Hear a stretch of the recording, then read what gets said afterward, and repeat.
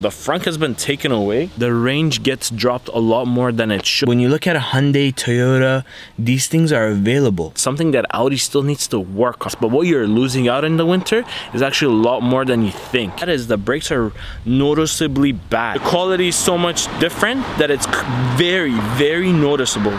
Because in high speeds, it could get you into trouble. Hi guys, hope you're good because I'm good and hope you're good and we can all be good together. Welcome back to Abraham's Garage. In today's video, I'm going to be talking about the things that I don't like about the Audi Q4 e-tron. Uh, these are my personal opinion from the time I spent with the car, shared with the opinions of the owner of the car. So what he told me from the time that he had the car.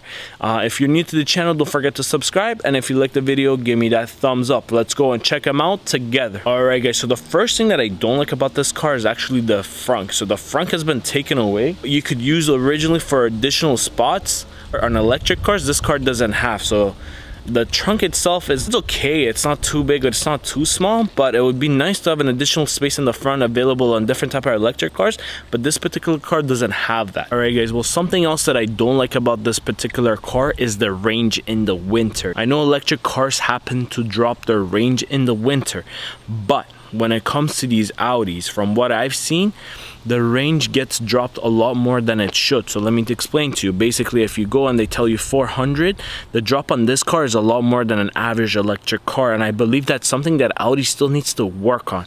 Because again, once you go to the center or office or whatever to purchase this car, they tell you this is the range. They also tell you in the winter it will be less, but they don't exactly tell you how much less. They say a little bit less, but what you're losing out in the winter is actually a lot more than you think. Alright guys, something else I like to talk about, and I said this about the last e-tron that I viewed is that the tailgate is on the higher side so now when you're trying to put groceries and stuff in you'd actually have to lift it up and put it in instead of just carrying it and putting in it. and then you might be thinking that I'm a younger guy and yeah, I can put it in. But I can even tell you for a younger guy like myself, it's harder to do that, especially once you get older. You want to be able to put things into the car easier. And uh, from what I've noticed is the line is higher on these type of Audis, something I don't really like. Alright guys, well something not good with the car is the braking system. The back brakes happen not to be discs like normal they're regens. And now the problem with that is the brakes are noticeably bad. Part of a car that has a lot of safety features. I would say brakes are number one. When you go back 20 30 40 50 years ago what you see developing over time is brakes.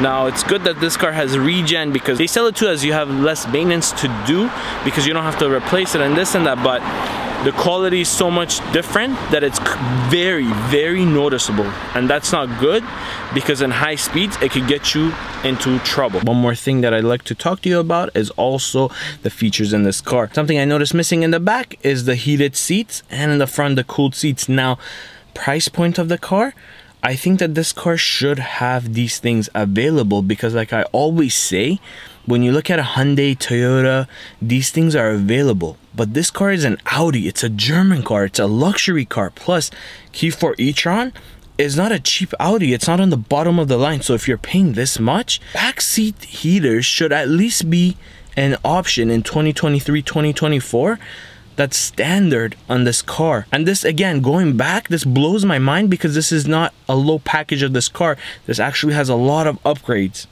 and that's not part of it. All right, guys, well, these are things that I don't like about the Audi Q4 e-tron. Let me know down in the comments below if you have this car and if you have these problems or if you have different problems with this car.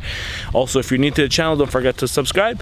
And if you like the video, give me that thumbs up. Hope to see you soon in my next video. Have a good one.